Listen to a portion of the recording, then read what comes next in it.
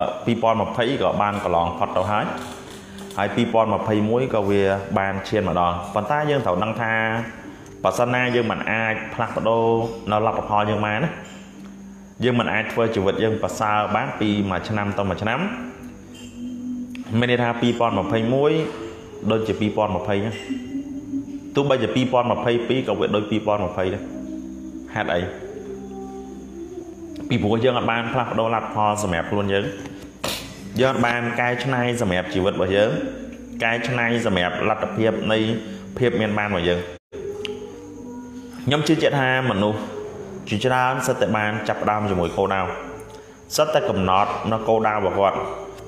ប៉ុន្តែរឿងមួយដែលពិបាកបំផុតនោះគឺមនុស្សមិនបានធ្វើសកម្មភាពដើម្បីគោលដៅរបស់គាត់អញ្ចឹងពេលដែលយើងមិនបានធ្វើអ្វីដើម្បីគោលដៅរបស់យើង កន្លែងហ្នឹងហើយវាជាបញ្ហាដ៏ធំសម្រាប់យើង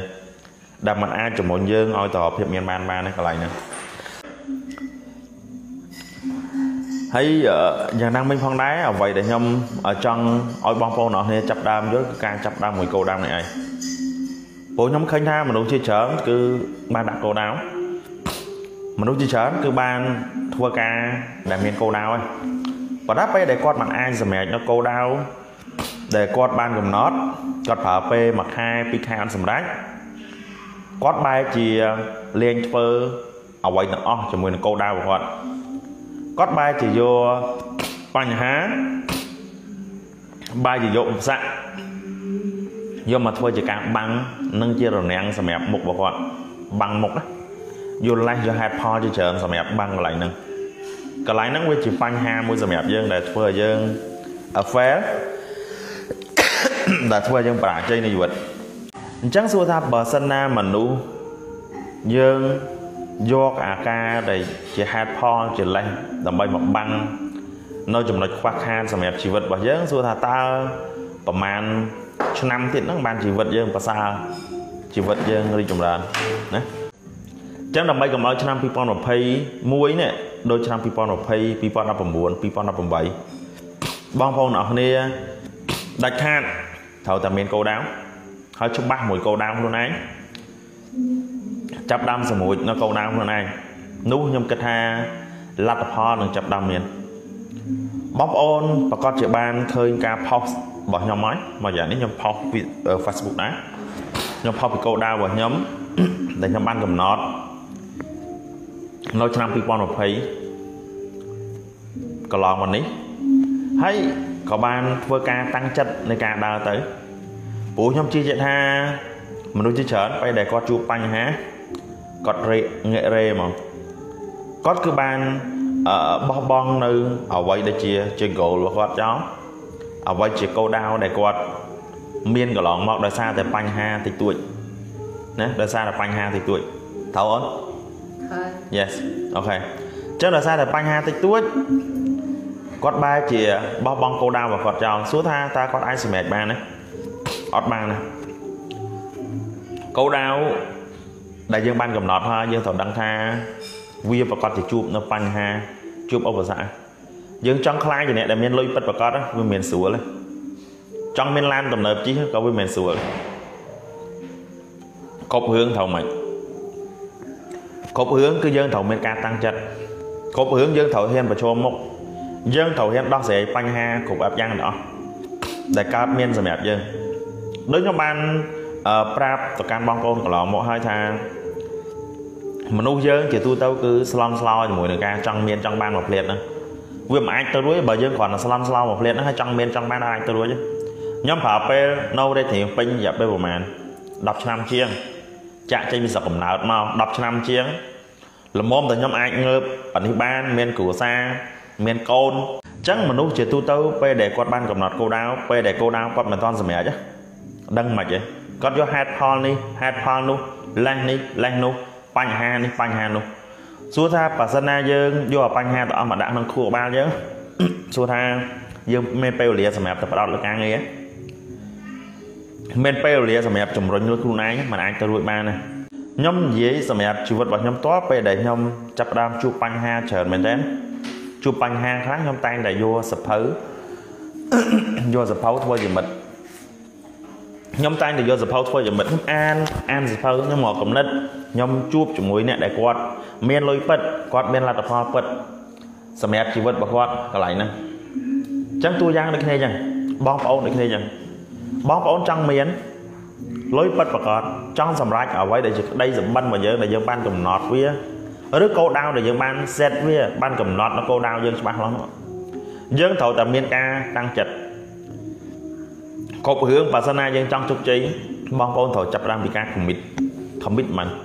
ការតាំងចិត្តការបដិញ្ញាចិត្តមិនមានយកហេតុផលឬយកលេសមកជីវិតខ្ញុំមកភ្នំពេញដំបូងខ្ញុំពិបាកវេទនាដូចខ្ញុំបានប្រាប់ចឹងប៉ុន្តែខ្ញុំបានតាំងចិត្តថាក្មេងប្រុសម្នាក់នេះអាចក្របានណាក្មេងប្រុសម្នាក់នេះมันអាចជាបកគលម្នាក់ដែលសាមញ្ញបានហើយក្មេងប្រុសម្នាក់នេះมันអាចឲ្យជីវភាពផ្នែកនោះដដែលក្មេងប្រុសម្នាក់នេះនឹងកសាងអាណាចក្រនៃភាពមានបានដែលពិតប្រាកដសម្រាប់ខ្លួនឯងនិងគ្រួសារ ខ្ញុំតែងតែប្រាប់ចំណុចទាំងអស់ទៅកាន់អ្នកដែលខ្ញុំស្គាល់ហើយមនុស្សជាច្រើនដែលតែងតែនិយាយថាខ្ញុំសំណាងតាមពិតមានខ្ញុំសំណាងខ្ញុំកសាងខ្ញុំប្រឹងកសាងខ្ញុំជួបបញ្ហាខ្ញុំជួបឧបសគ្គច្រើនមែនទែនសួរថាបញ្ហាលុយខ្ញុំជួបជួបដល់គ្នាជួបដល់គ្នាប៉ុន្តែយើងត្រូវដោះស្រាយយើងត្រូវរក្សាជំហរយើងត្រូវតាំងស្មារតីតាំងចិត្តដើម្បីជំរុញខ្លួនឯងលើការដំណើរការទៅដើម្បីឲ្យ ជីភេទយើងប្រសើរ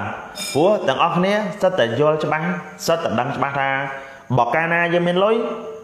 យើងមានជីភេទប្រសើរគ្រួសារមានសុភមង្គលមនុស្សគ្រប់គ្នាគឺបានដឹងថាពេលដែលមានលុយក៏អាចដោះស្រាយបញ្ហាមួយចំនួនធំបានប៉ុន្តែជាទូទៅមនុស្សចូលចិត្តបណ្ដោយខ្លួនឯងឃើញទេពេលដែលយើងចាប់ដើមចូលចិត្តបណ្ដោយខ្លួនឯងចង់ក្រោយតែពេលអត់លុយមិនអត់លុយចាប់ដើមមានបញ្ហាបញ្ហាកើតឡើងខ្ញុំដូចគ្នាអញ្ចឹង ពេលដែលខ្ញុំបដោយជីវិតខ្ញុំគឺមានបញ្ហាប៉ុន្តែពេលដែលខ្ញុំចាប់ដើមយល់ពីជីវិតរបស់ខ្ញុំខ្ញុំស្គាល់ពីតម្លៃនៃជីវិតរបស់ខ្ញុំខ្ញុំស្គាល់ពីតម្លៃនៃពេលវេលារបស់ខ្ញុំខ្ញុំមិនអនុញ្ញាតឲ្យខ្លួនអត់លុយទៀតត្រូវតែតាំងចិត្តទោះបីពិបាកវេទនាជួបបញ្ហាឧបសគ្គបែបណាក៏ដោយពេលខ្លះសឹងមិនមានពេលដេកក៏ដោយប៉ុន្តែគោលដៅមួយដាច់ខាតត្រូវតែផលិតលុយឲ្យបានត្រូវតែរកលុយឲ្យបានព្រោះយើងដឹងថាពេលដែលយើងក្រពេលដែលយើងអត់លុយមិន អ្វីគ្រប់យ៉ាងនៃជីវភាពរបស់យើងជីវិតរបស់យើងគឺត្រូវសូន្យអញ្ចឹងហ្មងអនាគតនៃជីវិតរបស់យើងត្រូវចប់ចុះបច្ច័យដល់ណាយើងមានកូនទៅមកអញ្ចឹងហើយយើងមានប្រពន្ធទៅមកអញ្ចឹងមកយកប្រពន្ធយើងមកឲ្យគាត់ញ៉ាំបាយក្រាំងមួយយើងមែនអត់ទេឲ្យកូនរបស់យើងមកវេទនារបស់យើងមែនអត់ទេយើងត្រូវតែតាំងចិត្តផ្លាស់ប្ដូរកម្រិតនៃជីវភាពរបស់យើងមនុស្សជាទូទៅតែងតែចង់ឲ្យជីវិតខ្លួនឯងប្រសើរ ប៉ុន្តែ95%យកបញ្ហាយកឧបសគ្គយកមករារាំងនៃជីវិតរបស់គាត់ត្រូវបងប្អូនអរគ្នាបើសិនតែត្រូវបងប្អូនអរសូមជួយ share ខ្ញុំម្នាក់មួយមកបាទជួយ share ម្នាក់មួយអូខេព្រោះនៅឆ្នាំ2021នេះខ្ញុំមានគោលដៅសម្រាប់ជីវិតរបស់ខ្ញុំខ្ញុំមានគោលដៅសម្រាប់អ្នកដែលសហការមួយខ្ញុំក្រុមការងាររបស់ខ្ញុំថាធ្វើម៉េចដើម្បីជីវភាពរបស់គាត់ប្រសើរឡើងចុះកន្លែងនេះជាចំណុចសំខាន់ ខ្ញុំនៅច្បាស់ចាំច្បាស់ណាជីវិតរបស់ខ្ញុំការកំឡុងឆ្នាំ2018ជីវិតដែលពិបាក2016 17 18ពិបាកបំផុតសំបីរតែលុយដោក្រាស់មកកំប៉ុង1200ហ្នឹងមាន1200ដុល្លារបងប្អូន1200លុយខ្មែរអត់មានលុយដោក្រាស់ផងនិយាយត្រង់មកពេលខ្លះដេកអត់បាយក៏មានដែរប៉ុន្តែខ្ញុំតែងតែប្រាប់ជីវិតខ្ញុំថាជីវិតខ្ញុំមិនអាចមានរឿងកើតឡើងសម្រាប់ខ្ញុំម្ដងទៀតណាខ្ញុំត្រូវតែតាំងចិត្តត្រូវតែតាំងចិត្តបដិញ្ញាចិត្ត បើតែចាយដនអីថ្ងៃមួយផ្លេចខ្លួនកូវីដ19អត់ឲ្យហ៊ានឲ្យម៉ែផ្ញើអង្កមកផ្ទះដាច់បាយអាកូវីដ19ម្ដងណាឃើញទេបើតែចាប់ពីពេលខ្ញុំយល់ច្បាស់ពីជីវិតហ្មងជីវិតយើងយើងត្រូវតែប្រេវាទុកត្រូវតែត្រៀមទុកជីវិតណាមានធ្វើបែបធម្មតាទៅមុខបានមានយក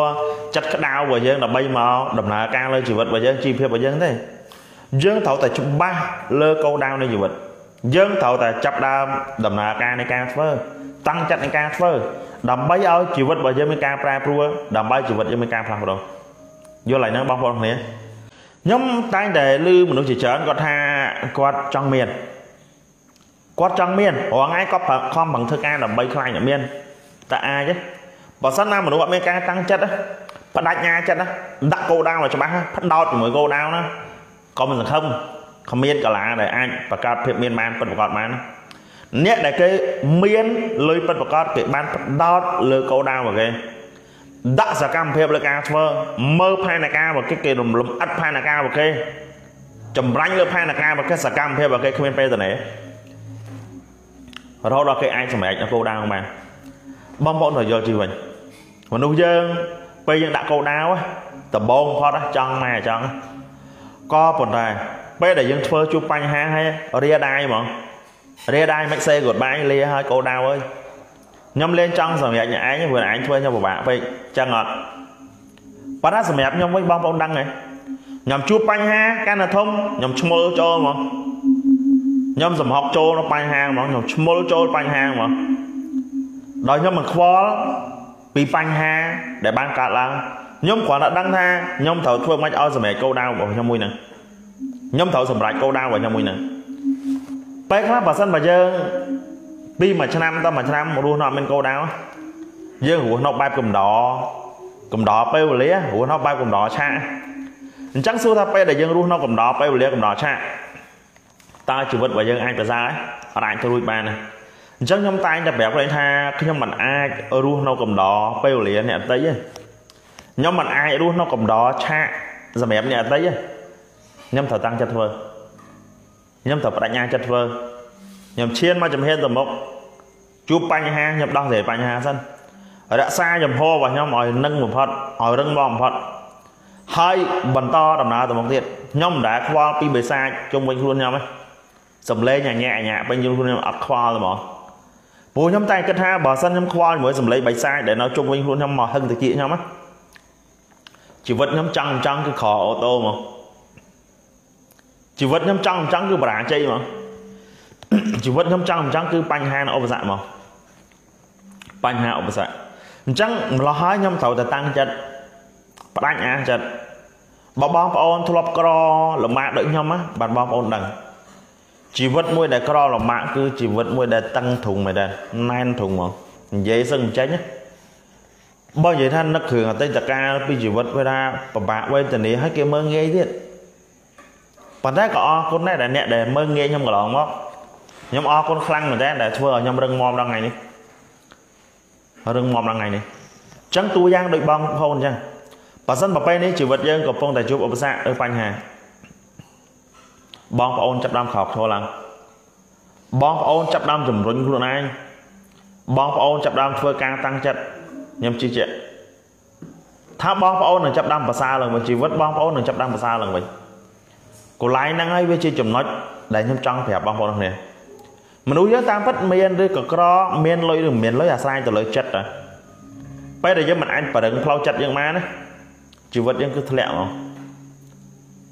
ហើយបើកាលណាធ្លាក់ហើយបដោយធ្លាក់ក្រោមសូននេះដកសូនទៀត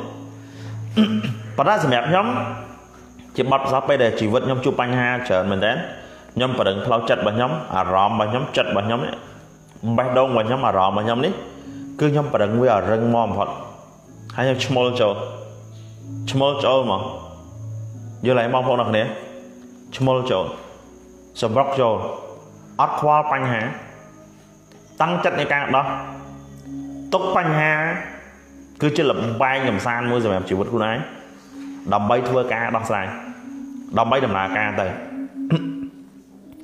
ហើយអ្វីដែលខ្ញុំដើរកន្លងមករយៈពេលនេះខ្ញុំចាប់ផ្ដើមមានជំនឿមួយថា នៅក្នុងវិស័យដីធ្លីវាជាវិស័យដ៏អស្ចារ្យសម្រាប់ជីវិតខ្ញុំព្រោះខ្ញុំគិតថាគ្មានចំនួនណាដែលធំជាងចំនួនដីធ្លីគ្មានចំនួនណាដែលធំជាងចំនួនអចលនទ្រព្យអត់មានព្រោះពេលដែលខ្ញុំចាប់ដើមដឹងថាអត់មានចំនួនណាដែលធំជាងចំនួនអចលនទ្រព្យខ្ញុំតាំងចិត្តធ្វើហ្មងខ្ញុំបដោតព្រោះពីមុនធ្លាប់រកស៊ីដែរប៉ុន្តែបរាជ័យច្រើនពេកចាប់ដើមរកស៊ីអចលនទ្រព្យវិញ ដើរលើខ្សែដីធ្លីវិញនេះជាការសម្រេចចិត្តដ៏ធំធេងរបស់ខ្ញុំចឹងបងប្អូនដូចគ្នាចឹងបងប្អូនដែលដើរកន្លងមកដែលដូចជាជួបបញ្ហានៃឆាកជីវិតអាចមកចាប់ផ្ដើមជាមួយខ្ញុំបានលើវិស័យដីធ្លីព្រោះខ្ញុំគិតថាវិស័យមួយនេះជាវិស័យមួយដ៏អស្ចារ្យ ជាវិស័យមួយដ៏សំខាន់ដែលខ្ញុំនិយាយថា very important បាទអង់គ្លេសដាក់មក clear ទៅកុំឲ្យថាខ្ញុំអត់ចេះអង់គ្លេសចេះមួយម៉ាត់ពីរម៉ាត់ដែរតោះគឺវាសំខាន់មហាសែនសំខាន់ហ្មងវាសំខាន់ប្រព័ន្ធខ្ញុំអង្គុយសើចខ្ញុំដាក់អង់គ្លេសមក clear ក៏មិនថាអត់ចេះអង់គ្លេសសម័យ technology ហើយតោះវិលវិញគឺយើងត្រូវតែចាប់ដើមឈ្មោះដោះស្រាយបញ្ហាជឿខ្ញុំហ៎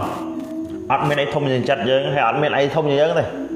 ជីវិតយើងយើងជាអ្នកកំណត់ មានណាមកកំណត់ជោគវាសនារបស់យើងអ្នកដតីគ្រាន់ជាអ្នកកាយវេបង្ហាញផ្លូវជូនយើងទេប៉ុណ្ណោះអ្នកដែលធ្វើពិតប្រកបណាគេយើងហើយបើថាមានប្រពន្ធទៅភាសាមួយប្រពន្ធទៅគឺចប់ហើយជជែកគ្នារកដំណោះស្រាយតែច្រកដើរបានបើសម្រាប់ចិត្តថាដើរហើយកុំងាកក្រោយបើដើរឡើងតែងាកក្រោយមិនដឹងឆ្នាំណាមានដើរឡើងងាកក្រោយមិនថាឃើញកន្លែងផ្សេងល្អទៅកន្លែងមួយទៀតឃើញកន្លែងមួយល្អទៅកន្លែងមួយទៀត យើងចាប់ដើមដើរងាកក្រោយកន្លែងហ្នឹងតែសម្រាប់ខ្ញុំខ្ញុំឈប់ដើរងាកក្រោយហើយផ្ដោតយកគោលដៅទៅមួយគាត់មាននៅក្នុងវិស័យដេញធ្លីហ្មងហើយ2021នេះជា2000ដែលផ្អើលទឹកផ្អើលដី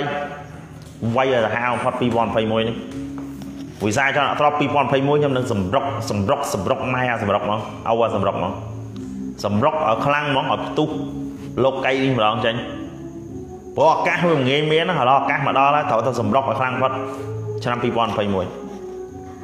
ហើយបងប្អូនដែលកំពុងតែមើលខ្ញុំចង់តាមដានទៀតតាមដានបានអត់បញ្ហាដើម្បីមើលភាពកក្រើកពិភពគុណម្ដងហ្មងពិភពគុណមួយនឹងក្រើកហ្មងហើយលើខ្សែដីធ្លីនឹងក្រើកអូខេកន្លែងនេះជាចំណុចមួយដែលខ្ញុំចង់ឲ្យបងប្អូនយល់ពីព្រោះបើសិនណាយើងអត់យល់ពីកន្លែងហ្នឹងទេយើងដំណើរការនៃការដើរទៅ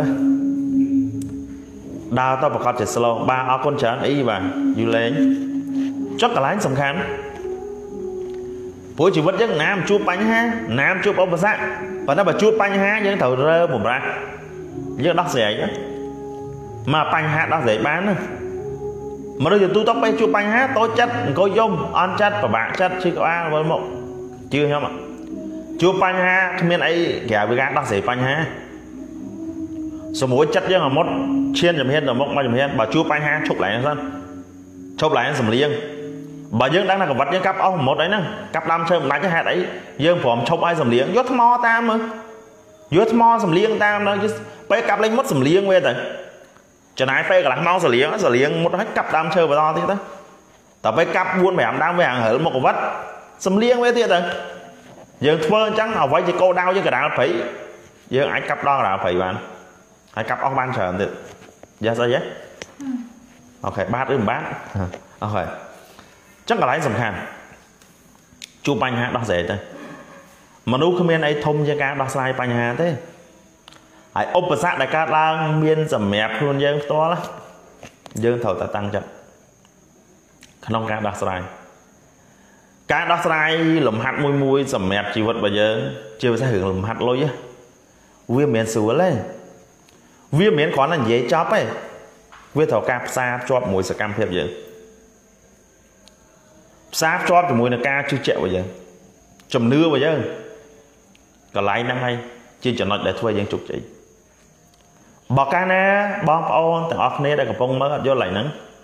ជីវិតបងប្អូនដើរ5 10ឆ្នាំទៀតក៏ទៅមុខពិបាកយើងនៅជាអ្នក worker រហូតធ្វើការគេរហូតត្រូវហើយប៉ុន្តែនិយាយនេះមិនមែនឲ្យបងប្អូនចេញមកស៊ីទេ គាត់ថាឲ្យបងប្អូនចាប់ដើមយល់ថាយើងចង់ជីវិតប្រសើរត្រូវចេះជ្រើផ្លូវដើរជ្រើផ្លូវដើរដូចខ្ញុំជ្រើផ្លូវដើរមួយគឺ real estate អាចារ្យអត្រកប៉ុន្តែខ្ញុំត្រូវតែពូកែលក់ត្រូវតែពូកែដោះស្រាយលុយពូកែលក់ទៅខ្ញុំអាចដើរទៅបានទៅខ្ញុំអាចดึงទៅបានណាបងប្អូនអ្នកគ្នាអញ្ចឹងបងប្អូនដូចគ្នាអញ្ចឹងបើសិនណាចង់ឲ្យជីវិតយើងផ្លាស់ប្ដូរក្នុងឆ្នាំ2021នេះ ត្រូវចាប់ផ្ដើមពីដើមខែមករាទៅខ្លាំងកុំបដ ாய் ពេលឲ្យខែមករាចឆ្លងផុតទៅដោយមិនបានបសល់ទុកលទ្ធផលអីមួយយ៉ាងកន្លែងនេះវាជាសោកនាដកម្មមួយដ៏ធំបំផុតដ៏ធ្ងន់ធ្ងរបំផុតសម្រាប់យើងអញ្ចឹងពេលយើងជួបបញ្ហាជួបឧបសគ្គត្រូវទៅដោះស្រាយទៅរក្សាចំហដើរទៅមុខហើយកុំឲ្យពេលវេលាខែមករានឹងកន្លងផុតទៅត្រូវតាំងចិត្តត្រូវ commit ចិត្តខ្លួនឯងខ្ញុំជឿថាពេលដែលអ្នកដែលមិនសម្រេចគោលដៅខ្លួនឯង បងប្អូននឹងចាប់ដើមបោះបង់នៅអ្វីជាគោលដៅដល់បំផុតសម្រាប់ខ្លួនឯងហើយបដោយខ្លួនឯងបដាបដោយខ្លួនឯងជីវិតអត់ប្រសើរមនុស្សបើឡាយអង្គុយគិតវេះបញ្ហាថ្ងៃក្រោយដល់ជួបបញ្ហាដែរត្រូវអត់ត្រូវចុះបើយើងជួបបញ្ហាដោះស្រាយវាហើយថ្ងៃក្រោយជួបទៀតអត់អត់ទេជួបប៉ុន្តែជួបរឿងថ្មីមានជួបរឿងចាស់ហើយប៉ុន្តែសួរថាបើជួបរឿងចាស់ដដែលដោះស្រាយចេញធូរដោះស្រាយចេញហ៎ ចេញប៉ុន្តែបើជួបរឿងថ្មីយើងមានកំណត់ថ្មីក្នុងការដោះស្រាយហ៎ពេលដែលយើងជួបបញ្ហាដោះស្រាយវាអស់ថ្ងៃក្រោយអាបញ្ហាវាមានប៉ុន្តែបញ្ហាដែលតូចដែលតិចបំផុតសម្រាប់យើងហើយយើងបានដឹងច្បាស់ថាបញ្ហារបស់មនុស្សរាល់ថ្ងៃមិនមែនបញ្ហាលុយទេបញ្ហាផ្លូវចិត្តតែផ្លូវចិត្តយើងបាក់មិនលុយរកបានណាប៉ុន្តែបើផ្លូវចិត្តយើងមានរកបានណាពេលដែលយើងមានផ្លូវចិត្តយើងអាចខ្លាយជាតកែស្វាយបានបងប្អូនលក់តែស្វាយមុខវាំងក៏បានលុយឃើញទេ យើងបើកដេប៉ូស្វាយបោះដុំហ៎អំជូរលក់អំជូរបោះដុំដេប៉ូអញ្ចឹងមកបានដែរឃើញអត់ពេលដែលចិត្តរបស់យើងអត់ស្លាប់លុយគឺហោះមកគ្រប់ទីកន្លែងហ្នឹងអស់ប៉ុន្តែពេលដែលចិត្តរបស់យើងចាប់ដើមស្លាប់ទៅចិត្តរបស់យើងចាប់ដើមប្រេសាមកថាចិត្តយើងងាប់បាត់អ្វីគ្រប់យ៉ាងវាត្រូវងាប់ទាំងអស់វាបាត់បង់អ្វីទាំងអស់សម្រាប់យើងអញ្ចឹងកុំឲ្យចិត្តយើងស្លាប់ពេលចិត្តយើងស្លាប់អ្វីគ្រប់យ៉ាងវាជាបញ្ហាសម្រាប់យើងហើយអញ្ចឹងទាំងអស់គ្នាត្រូវតែបរឹងផ្លូវចិត្តខ្លួនឯងខ្ញុំតែងតែបរឹងផ្លូវចិត្តខ្ញុំតាមរយៈនៃការអានសភៅសមាធិជួបជាមួយនឹងថ្នាក់ងំរបស់ខ្ញុំស្ដាប់យុទ្ធសាស្ត្របច្ចេកទេសរបស់គាត់នៃការដើរទៅខ្ញុំអាចធ្វើបន្តទៀតបានហើយត្រូវដឹងថាបញ្ហាវាជាដំណោះស្រាយមានបញ្ហាជាបញ្ហាពេលដែលយើងជួបបញ្ហាในជីវិតយើងមិនអាចនៅក្នុងបញ្ហាទេយើងត្រូវតែនៅក្រៅបញ្ហាបានដោះស្រាយបញ្ហាបានត្រូវអត់ត្រូវហើយ បើភ្លើងឆេះផ្ទះរបស់យើងនៅក្នុងផ្ទះលទ្ធផលតែមួយគាត់គេគឺងាប់ក្នុងហ្នឹងហ្មងឬស្លាប់ក្នុងតែម្ដងនិយាយភាសាឲ្យខកស្ដាប់ពេលភ្លើងឆេះផ្ទះយើងត្រូវនៅក្រៅផ្ទះនៅក្រៅផ្ទះធ្វើអីយកទឹកយកទឹកបលត់ឲ្យមានមាត់ធ្វើអីតែស្រែកប្រាប់ណាគេអត់ទៅជួយផ្សាយប្រាប់អ្នកចិត្តខាងគេមកជួយបលត់ឬក៏ហៅឡានអគ្គីភ័យដើម្បីគេមកបលត់យ៉ាសយ៉ា បងប្អូនឆ្លើយយ៉ាមួយក៏មកស្ងាត់ពេកបាទខ្ញុំខំផងនិយាយយ៉ាស្អីយ៉ាហ៎តោះបន្តទៀតអញ្ចឹងកន្លែងសំខាន់អញ្ចឹងបើពេលដែលយើងជួបបញ្ហាយើងមិនអាចនៅក្នុងបញ្ហាបានទេយើងត្រូវនៅក្រៅបញ្ហាដើម្បីដោះស្រាយបើយើងអត់លុយយើងនៅគិតរឿងខ្លួនយើងអត់លុយអត់លុយអត់លុយជីវិតយើងមិននៅអត់លុយយើងត្រូវតែរកច្រកមួយដើម្បីផលិតលុយសួរច្រកណាដើម្បីឲ្យផលិតលុយបានឬក៏ជីវិតរបស់យើងចង់បដោយរយៈពេលមួយឆ្នាំពី10ខែដដែលស្រួលបងប្អូន ខ្ញុំពងឡាយទៅហ៎បាទកុំឲ្យថាខ្ញុំបកការនិយាយមកជួបខ្ញុំត្រូវអត់ខ្ញុំប្រាប់វិធីមានឱកាសអនុវត្តជាមួយខ្ញុំទៀតមើលឲ្យណានៃមើលដើម្បីជីវិតផ្លាស់ប្ដូរមើលពេលខ្លះជីវិតរបស់យើងយើងមិនអាចសាំញ៉ាំលើជីវិតច្រើនទេបើសិនណាយើងសាំញ៉ាំលើជីវិតយើងច្រើនវិញមិនដឹងថាថ្ងៃណាជីវិតយើងប្រសើរថ្ងៃណាជីវិតយើងរីកចម្រើនទេជីវិតយើងមិនអាចសាំញ៉ាំបានទេ ជីវិតរបស់យើងត្រូវតែធ្វើការផ្លាស់ប្ដូរត្រូវតែរកនរណាម្នាក់ដែលអាចដឹកដែរយើងបានតើភាពមានបានបាទអរគុណច្រើនសម្រាប់ការឆ្លើយ yes ថ្ងៃនេះខ្ញុំគ្រាន់តែសាកតេស្តសម្លេងរបស់ខ្ញុំនឹងកំណត់មួយចំនួនប៉ុន្តែភាសាដែលខ្ញុំនិយាយជាភាសាពិតបងនិយាយថាមនុស្សប្រុសពីរអ្នកស្រឡាញ់គ្នាគេថាសារភាពថាបងទៅស្រឡាញ់អូនតដឹងអូនធ្វើជាប្រពន្ធចំថ្ងៃហ្នឹងនិយាយទៅដល់ចាចម្លាយមើលអាហ្នឹងថាភាសាពិតអញ្ចឹងខ្ញុំនិយាយពេលនេះគឺភាសាចេញពីបេះដូងរបស់ខ្ញុំបត់ពិសោធន៍កន្លងមកដែលខ្ញុំបានជួបលើជីវិតរបស់ខ្ញុំចង់ឲ្យបងប្អូនចាប់ដើមយល់បើជីវិតរបស់យើងជួបបញ្ហាហើយយើងនៅតែបដោយជីវិតរបស់យើងជីវិតរបស់យើងគឺ0ហើយជីវិតយើងគឺ0មកហើយដល់ពេលជីវិត0កុំតែបន្ទោសអ្នកអតីត្រូវទេជីវិតមនុស្សយើងពេលខ្លះយើងខ្ញុំឆ្ងល់ដែរអ្នកខ្លះក៏បដោយជីវិតខ្លួនឯង បដោយថតដល់ជីវិតខ្លួនឯងខ្លាចទៅជាជីវិតមួយដែលលងលក់ពេលដែលជីវិតយើងទៅជាជីវិតដែលលងលក់សួរថាវានឹងមានឱកាសឡើងមានអីក្រៅពីពិបាកចិត្តមានអីក្រៅពីរឿងបញ្ហាទៅអស់ហ្នឹងត្រូវហើយយើងត្រូវដឹងថាបើ2020យើងដើរខុសហើយ2021កុំឲ្យដើរខុសហើយ2021កុំធ្វើជាបកលធម្មតាត្រូវតែរកនរណាដែលអាចបង្ហាញផ្លូវបានហើយអនុវត្តតាមគោលការណ៍និងផែនការគាត់ប្រាប់ទៅយើងរីកចម្រើន យើងដំណើរការទៅបានបងប្អូនទាំងអស់គ្នាដែលកំពុងមើលគ្នាបើសិនណា2020យើងដំណើរការយើងឆានឹងចោលម្ដងហើយកុំឆា2021ចោលទៀតបាទបើមិនដឹងថាចាប់ផ្ដើមមានកន្លែងណាទៅកន្លែងណាអត់អីមកជួបខ្ញុំ chat មកខ្ញុំផ្ទាល់ក៏បាន chat មកខ្ញុំ chat មកខ្ញុំហើយជួបខ្ញុំបានធ្វើការណាត់ជួបមានឱកាសល្អមកផ្លាស់ប្ដូរជីវិតរបស់ខ្ញុំក៏បាន យល់បងប្អូនអរគ្នាពីព្រោះមនុស្សយើងបើសិនណាយើងនៅតែបដ ாய் ខ្លួនយើងមិនដឹងថាថ្ងៃណាយើងរីកយើងទៅមុខបានអញ្ចឹងយើងត្រូវតែច្បាស់ជាក់លាក់ពិតប្រកបតាំងចិត្ត commit លើខ្លួនឯងបងប្អូនត្រូវយល់ថាសូម្បីអ្នកហាត់ប្រាណណាឬក៏អ្នកដែលគាត់ហាត់យកសុខភាពល្អយកសាច់ដុំណាមិនមែនគេហាត់មួយថ្ងៃឡើងសាច់ដុំទេគេត្រូវការប្រើពេលប្រហែលខែគេឈឺចុកចាប់សាច់ដុំគ្រប់បែបយ៉ាងទាំងអស់ដើម្បីឲ្យសាច់ដុំគេឡើង មើលគេហាត់កលាកាសមកសួរសុកសុកសាច់កលាកាសឡើងទៅអញ្ចឹងអត់ទេត្រូវការប្រើពេលវេលាការចុកចាប់ការឈឺចាប់គ្រប់បែបយ៉ាងទាំងអស់រត់គេអាចសម្រេចបានភាពមានបានការមានលុយដូចគ្នាកើតឡើងការសន្សំការតាំងចិត្តការផ្ដោតគ្រប់បែបយ៉ាងទាំងអស់ជួបបញ្ហាដោះស្រាយបញ្ហាជឿខ្ញុំទៅជីវិតនឹងប្រសើរហើយណាបងប្អូនគ្នាហើយសម្រាប់បងប្អូនដែលចង់ ផ្លាស់ប្ដូរជីវិតមែនទេណាអូខេអាចណាអាចមកចាប់ផ្ដើមជាមួយខ្ញុំបានហើយបងប្អូនអរគ្នាចាប់ផ្ដើមចាប់ផ្ដើមដោយជំនឿនឹងការជឿជាក់ពិតប្រាកដទៅជោគជ័យវាមានត្រូវហើយ